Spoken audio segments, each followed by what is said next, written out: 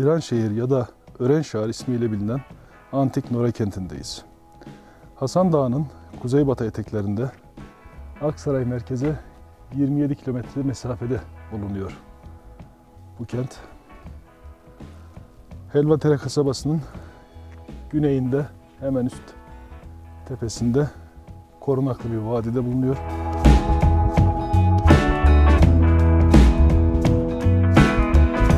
Kalıntılar doğal bazalt bloklarıyla kaba inşa edilmiş konutlar ve düzgün kesme taştan yapılmış anıtsal mezarlar, kiliseler ve sarnıçlardan oluşmaktadır. Viranşehir olarak anılmasına rağmen yerleşimi günümüzde tarihi Kapadokya bölgesinin bilinen en iyi korunmuş ve en büyük Doğu Roma kentidir. Her ne kadar kitabelerinde Kültür Müdürlüğümüzün yerleştirdiği açıklama tabelalarında böyle yazıyor olsa da bu tarihi mekanlara geldiğimde kendimi çok farklı hissederim. Bizler günlük yaşamımızda mücadeleler veririz, acılar çekeriz, koşturmaca, başarılar, ihanetler, mutluluklar, bayramlar, zaferler. Bunları yaşarız. Bize koca bir hayat gibi gelir. Ama bu antik yerlere geldiğinizde bir değil, binlerce hayat ve yüzlerce, binlerce yıl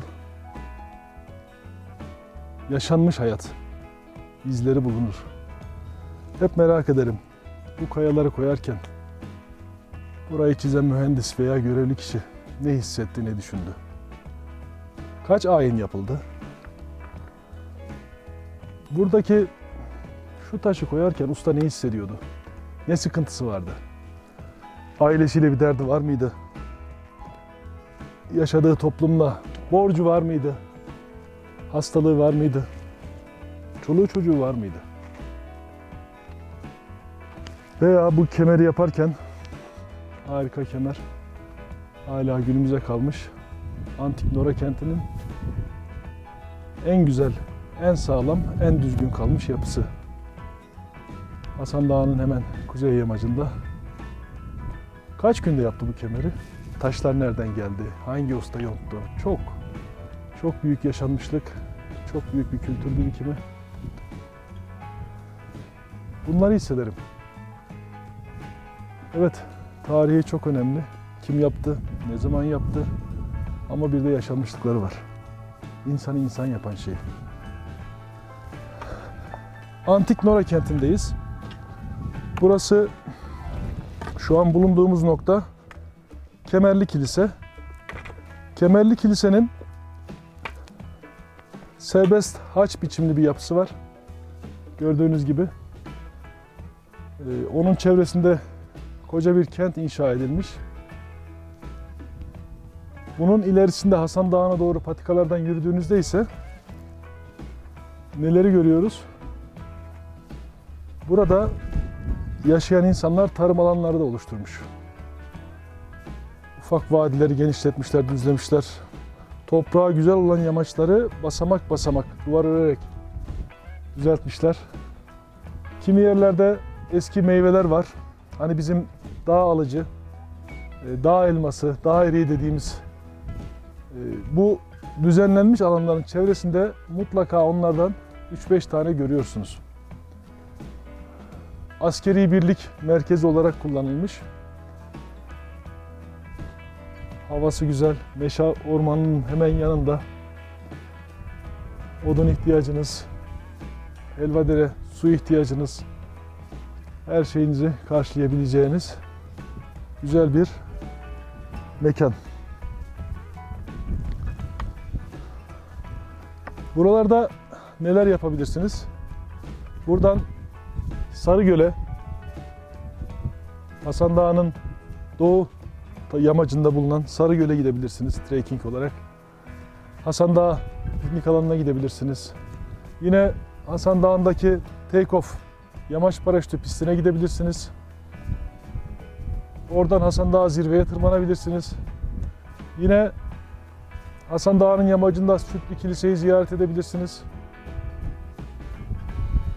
Helvadere göletinde olta balıkçılığı yapabilirsiniz.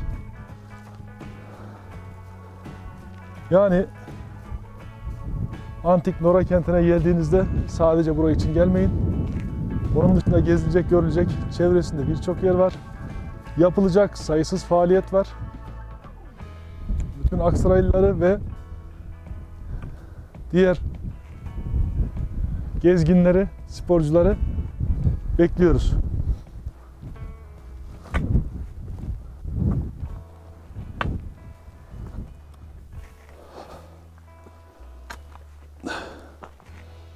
Evet.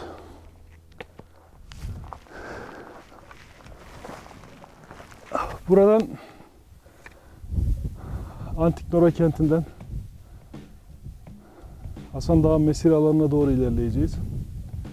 Orada kampçıların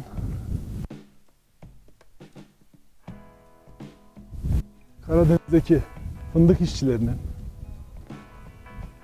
veya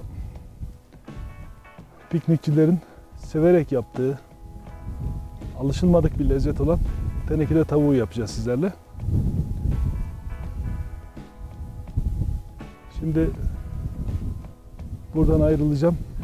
Aracıma bineceğim. Ve kendime güzel orman içi sessiz sakin bir yer bulacağım. Beşi ormanın görüşmek dileğiyle.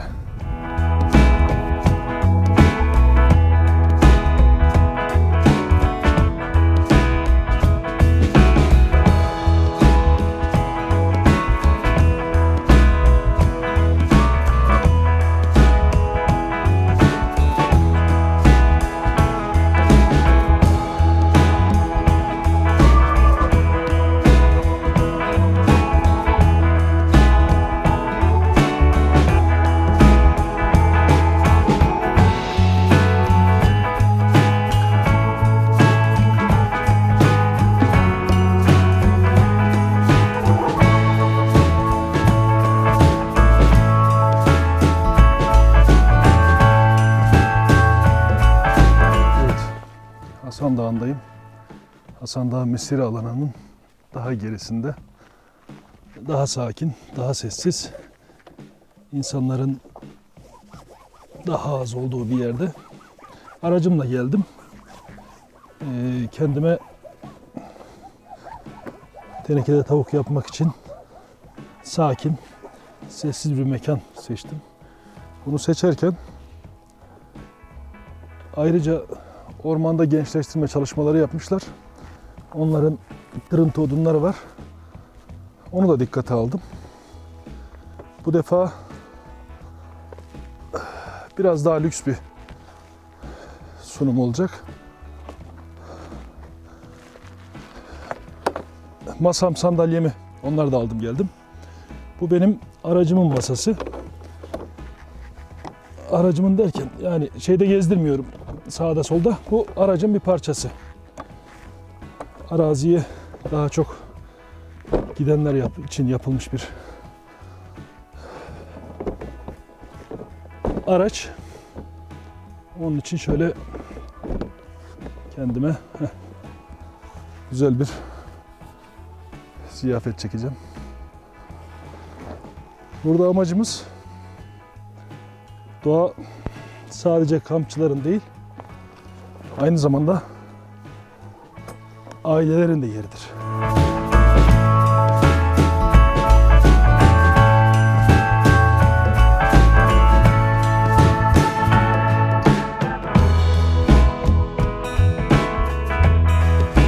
Evet, tenekede tavukta malzemelerimi hazırladım. Tavuğum. Buna ek olarak tavuk yeterli ama e, tenekenin içine patates, soğan, domates, biber, sarımsak hatta patlıcan bunu artırabilirsiniz. Koyduğunuz zaman e, o tavuğun yağı ile harika bir lezzeti oluyor. Onu da şiddetle tavsiye ederim.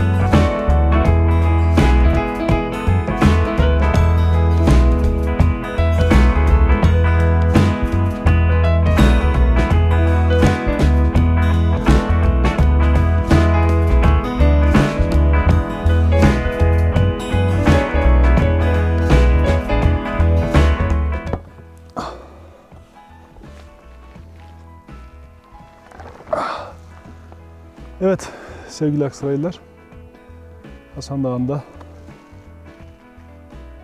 kamp mekanıma geldim. Bu defa dediğim gibi biraz lüksüz. Sıcak çayım var termosumla. Evden çıkarken onu aldım geldim. Masam var, aracımın masası. Ee, sürekli bagajda sabit. Onu aldım bakın çayın ne güzel dumanı çıkıyor. Sandalyemi getirdim, kamp sandalyemi.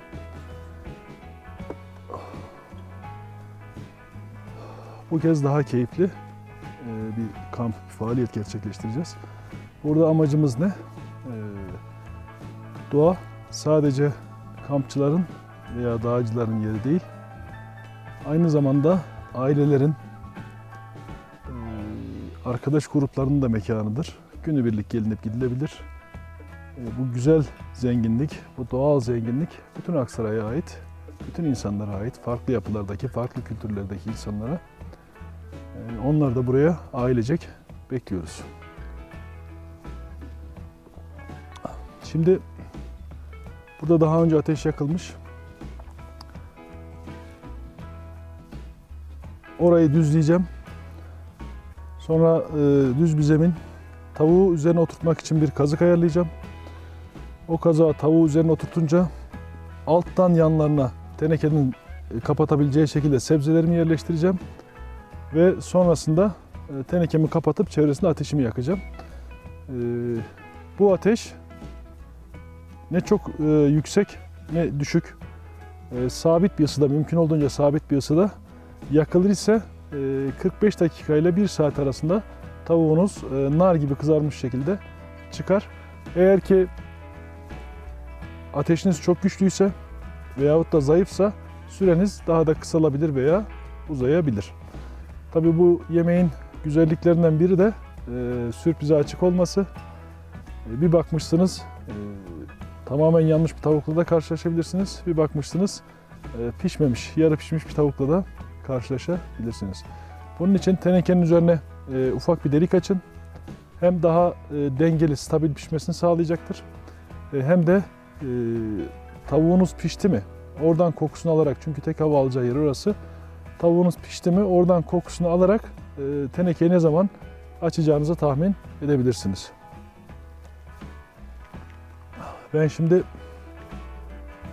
işlere koyulayım. Çayıma sonra devam ederim.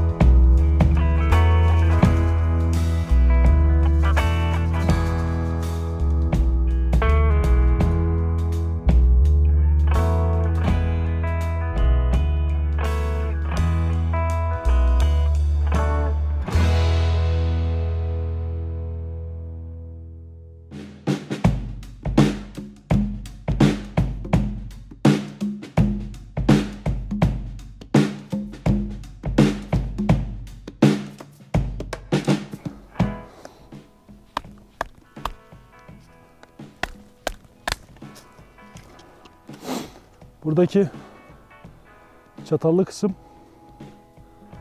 e, tavuğumun aşağı düşmesini engelleyecek. Uç kısmını sivriltiyorum. Bu bugünkü bıçağımız biraz büyük. Ormanda ince dalları balta niyetine kesebilmek için, iç kısım ağaçlar yontabilmek için, üst kısımda kesme doğrama işlerini yapabilmek için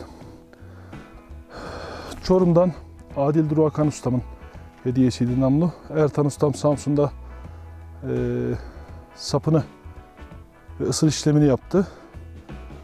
E, ben de burada şöyle onu da gösterelim. Kılıfını diktim. Kendim diktim. E, bunu dikerken bıçağım büyük bir bıçaktı. Çok sallanmasını istemedim. Onun için böyle yatay takılabilen bir kılıf hazırladım onun için. Dediğim gibi ilerleyen bölümlerde de bir bıçak kılıfı nasıl dikilir, bıçak nasıl yapılır onları da işleyeceğiz. Daha ayrıntılı göreceğiz o zaman.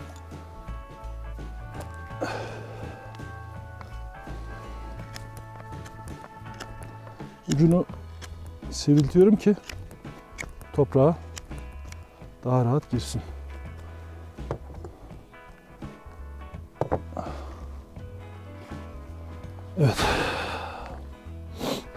Kazığımı çakacağım.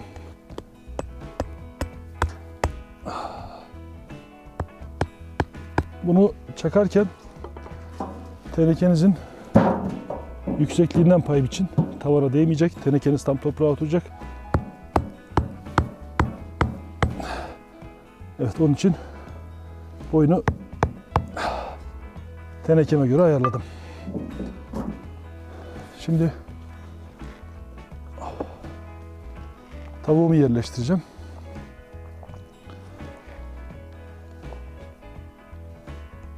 Evet. Bakıyorum boyuna yine. Evet tavuğum değmiyor. Tavuğum hazır. Yanına patates ve soğanlarımı ve domatesle biberlerimi koyacağım. Şimdi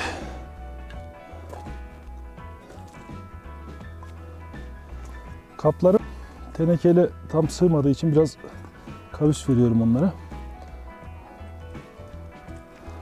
Bir soğan. Öncesinde biberlerim.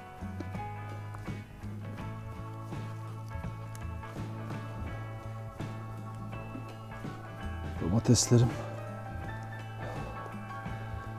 Diğer patateslerimi de şöyle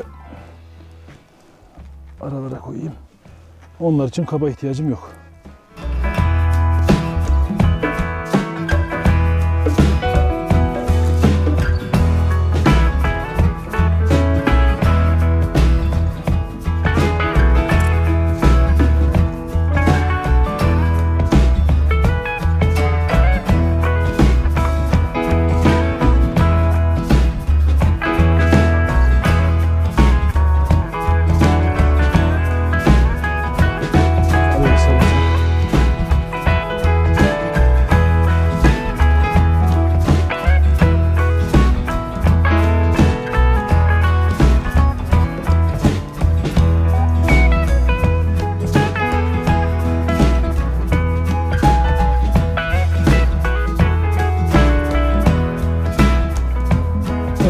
Terekide tavuğum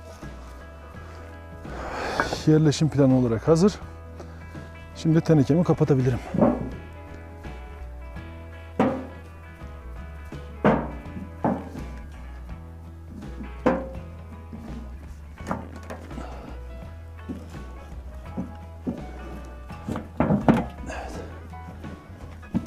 Tam olarak toprağa oturtuyorum ve içeri is girmesin, hava almasın diye çevresini toprakla kapatıyorum. Toprağın rengine bir bakar mısınız? Simsiyah, harika bir toprak. Humus oranı çok yüksek. Çürükçüller ve mantarlar işlerini çok iyi yapmış. Humus dolu, harika bir toprak. Saksı toprağı olarak dahi kullanılabilecek bir güzellikte. Şimdi ateşimi yakmak için kuru yapraklar kullanacağım. Özellikle yerdeki yaprakları kullanmıyorum çünkü yeni yağmur yağmış. Hepsi ıslak.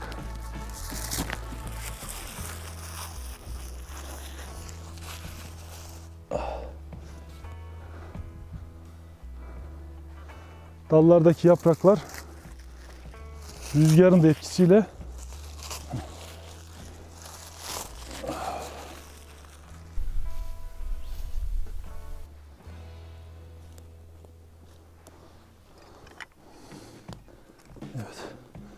Önce ince dallarım hava alacak şekilde.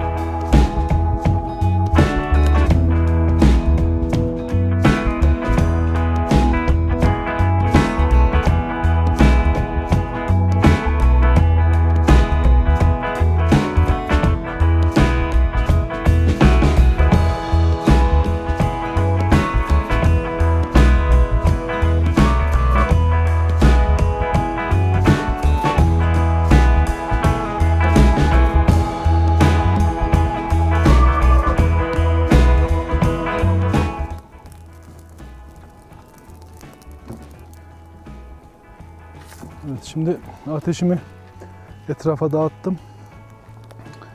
Toparlayacağım. Toparlayacağım.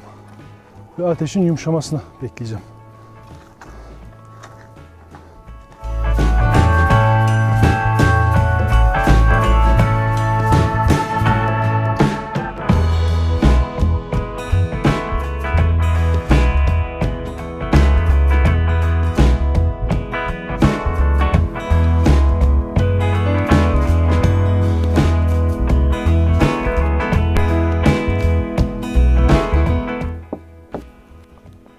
Seyirciler, bugün Hasan Dağı'ndaydık. Tenekede tavuğumuzu hazırladık, koyduk. Çevresindeki ateşini kontrollü bir şekilde etrafına yayıp sonra toparladık. Tahmini e, ateşte uğraştığımız vakiti hesaba katarsak şu andan itibaren 40 dakika sonra tavuğumuz hazır. Ateşimizin biraz daha yumuşaması gerekiyor. Orada yumuşayacak. Hasan Dağı ve çevresi e, gerçek bir hazine. Bir ekoturizm hazinesi.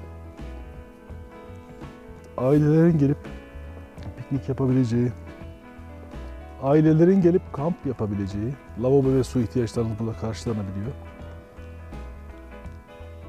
Kampçıların kamp yapabileceği, dağcıların zirve tırmanışı yapabileceği, tur kayakçılarının kayabileceği, yamaç paraşütçülerinin uçabileceği ki dünyada ilk üçteyiz. Resmi olarak Türkiye'de bir numarayız. Uzun mesafe yamaç paraşütü pisti olarak take-off'ta. Bitki çeşitliliği harika, endemizm oranı güzel. Tarihi eserleri var. Birlikte gezmiş olduğumuz Antik Nora kenti, Viranşehir, Sütlü Kilise, gölleri var. Helvadere Göleti ki orada halk pazarı da kuruluyor. Alışveriş yapabilirsiniz. At çiftliği var. Lokantaları var. Sarıgöl baharda harika bir yerdir. Tam bir yürüyüş rotası, harika bir yürüyüş rotası. Fotoğraf için çok güzel gün batımı manzaralarının olduğu, harika kadrajların yakalandığı bir yer. Eşsiz bir ortam. Böyle güzelliklerin değerini bilmek sadece korumakla olmaz. Onları yaşamakla olur, yaşatmakla olur. Sizleri de şehir içi veya şehir dışından Hasan Dağı'na ziyarete bekliyoruz. 40 dakika sonra tenekeyi açarken görüşmek üzere.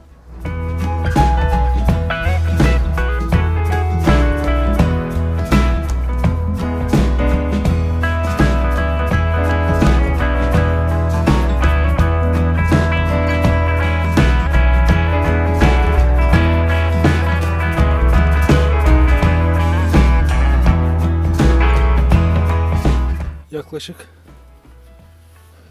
ateşi düzelttim diyeli 40 dakika oldu. Şimdi ateşin çevresini açıp tavuğumu alacağım. Bakalım ne çıkacak. Umarım kötü bir sürprize karşılaşmayız.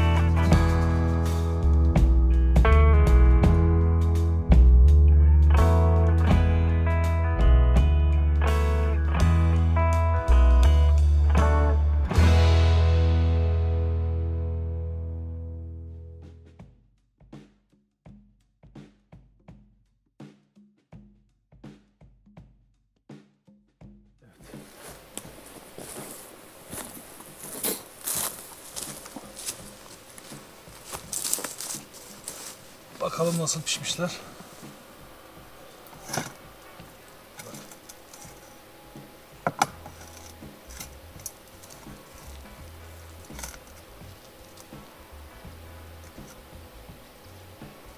Hiçbir zorlama olmadı.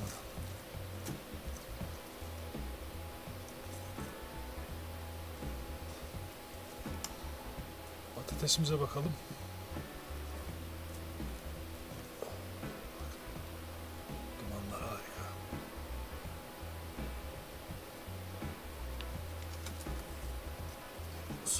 Soğanlarımızda şunu göstermek istiyorum. Size kalıyor.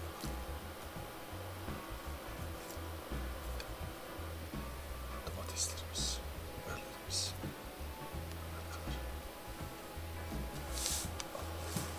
Evet. Değerli Aksaraylılar, değerli Aksaray Keşfet Programı seyircileri. Bir bölümümüzün daha sonuna geldik. Bugün Antik Nora kentindeydik. Sonrasında Hasan Dağı'na geldik ve tenekede tavuk yaptık. Umuyoruz ki sizler de buralara gelir, buraları gezer ve değerlendirirsiniz. Bir dahaki bölümde görüşmek dileğiyle. Doğada kalın, doğayla kalın.